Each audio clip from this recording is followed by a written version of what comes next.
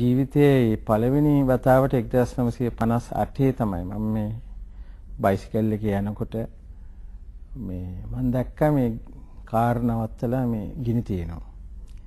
එතකොට මිනිස්සු එළියට බහිනවා. ගෙවල් ගිනි තියෙනවා. එතකොට මම ඉක්මනටම ගෙදර ගිහිල්ලා මගේ අම්මගෙන් අහුව මොකද්ද මේ කියලා. එතකොට මම කිව්වා නෑ ගෙදර ඉන්න යන්න එපා. මේ එහෙම කෝලහලයක් තියෙනවා කියලා. මම ඒ වෙලාවේ තමයි මේ මගේ මිත්‍රයා මට මතක් වුණේ. මොකද එයායි මමයි ඉස්සර මේ දුටු ගැමුණු එලහර අපි සෙල්ලම් කරනවා. එයා ද්‍රවිඩ මිත්‍රයෙක්. මගේ හොඳම මිත්‍රයා. මට එකට මතක් වෙලා මම බයිසිකල් එක අරගෙන ගියා. මේ මිත්‍රයා බලන්න. එතකොට එයාගේ ගේ ගිනි තියෙනවා. ඉතින් මම පැහැන්ලා මම මිනිස්සුගෙන් අහුව මොකක්ද උනේ කියලා. ඒකට කිව්වා මේ මුළු පවුලම මගේ මිත්‍රයත් එක්ක අර ලිනට වැටිලා දිවිනසා ගත්තා කියලා.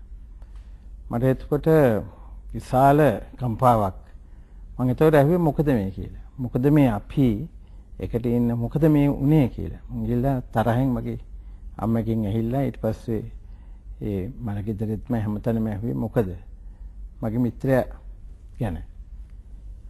එතකොට ඒකෙන් අහපු ප්‍රශ්න තමයි මොකද මේ වගේ අපි අපේම සමාජයේ ජීවත් වෙන අය අපි මරන්නේ. අපි මේ විදිහට කරන්න කියන ප්‍රශ්නයෙන් තමයි මම මං හිතන්නේ හුඟක් දුරට පොත් හදාරුවේ. එක දවසක් මම යනකොට තමයි මම අහුම්කන් දුන්නා මේ විශාල වාදයක්. මොකද්ද මේ ඇමරිකන් සොල්දාදුව දෙන්නේ මේ යුනිෆෝම් උත් ඇඳගෙන තර්ක කරනවා මේ එක එක්කෙනෙක් එක්ක. එයා තමයි මං කිව්වේ මේ ඇල්ෆ්‍රඩ් රේනල්ස්. එයා අහන ප්‍රශ්න මොකද මේ වියට්නාමට යන්නේ කියලා. ඒකෝ ඒගොල්ලෝ කියනවා අපි කොමියුනිස්ට් මරන්න කියලා. එතකොට ඇල්ෆ්‍රඩ් අහනවා මේ කොමියුනිස්ට් කියන්නේ කවුද? මිනිස්සුද?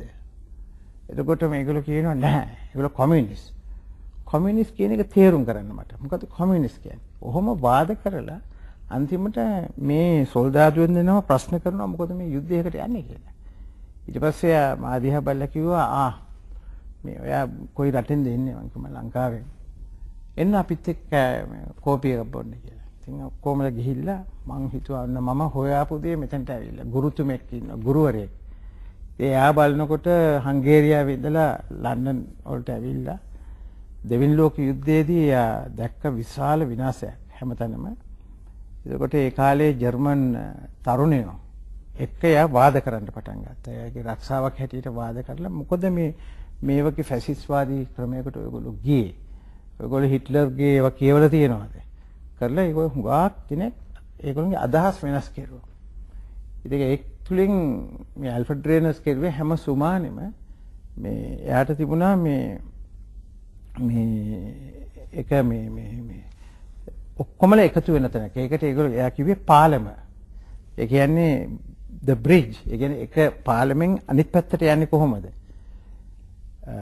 තව උසස් ඥානයක් ලබා ගන්නේ කෙසේද? ඉතින් මම එතෙන්ට පළවෙනි වාටිය මම පුදුම වුණා. මොකද රටවල් කීපයක ඔක්කොමලා මේ දරුණු විදිහට දැන් මේගොල්ලෝ වාද කරනවා. ෂෝපන්හාව එහෙම නැත්නම් ඉමැනුවල් කාන්ට් හයිඩිගර් ඉතින් මෙතන ආන ප්‍රශ්නය තමයි මේ සත්‍ය කියන්නේ කුමක්ද? සත්‍ය තියෙන කියක් තියනවද? එහෙම නැත්නම් දෙවියන් වහන්සේ කෙනෙක් ඉන්නවද? එහෙම නැත්නම් ඔහොම ඒ ඒ ඒ වලින් ඒ තුලින් මම ඉතින් පුළුවන් තරම් මගේ ජීවිතේ කාලේ පොත් කියවුවා. පොත් කියවලා දර්ශනය කියවුවා. මාක්ස්වාදය හැදෑරුවා, හේගල් හැදෑරුවා. මොකද මේ අවස්ථාවේදී මට ඇවිල්ලා ඒතකොට වාද කරන්න පුළුවන්. කරලා ඇල්ෆ්‍රඩ් රේනියස් විශේෂයෙන්ම මම ගාක් හොඳට සැලකලා ඒ වගේම සංගීත විශේෂයෙන්ම හැම පැත්තෙම එයා මට මේ මඟ පෙන්වීමක් කෙරුවා. කරලා ඒකෙන් තමයි මම හුඟක් දුරට එක දවසක් ඔය මේ ස්පීකර්ස් කෝනවල මම කතා කරන්න පටන් ගත්තා. කතා කරන්න පටන් ගත්තම මේ ඇමරිකන් පවුලක් එතන හිටිය අය කායිලා කිව්වා අපිත් එක්ක මේ කෝපි එකක් බොන්න පුළුවන්ද කියලා. මම කිව්වා හොඳයි කියලා කෝපි එකක් බිව්වා. එතකොට මගෙන් ඇහුවා මේ දැන් විශ්වවිද්‍යාලේ කොහොමද කියලා. මම කොහොම විශ්වවිද්‍යාලේ ගිහිල්ලා නැහැ. මම A level වත් කරලා නැහැ.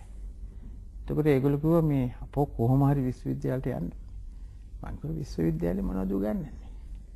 ඔය නිකන් මේ මේ ගිරව් වගේ ඉගෙන ගන්න නෙමෙයි. මේ විශ්වවිද්‍යාලේ තියෙන්නේ මෙහෙ මෙතන. හයිට් පාර්ක් එකේ. එතන තමයි නියම විශ්වවිද්‍යාලය තියෙන්නේ. හොඳයි. ඒ නියම විශ්වවිද්‍යාලයට එතුමා